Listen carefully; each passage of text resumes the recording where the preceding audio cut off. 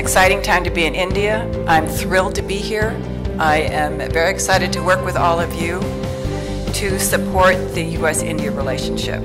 This is a consequential relationship. I heard that over and over again in Washington.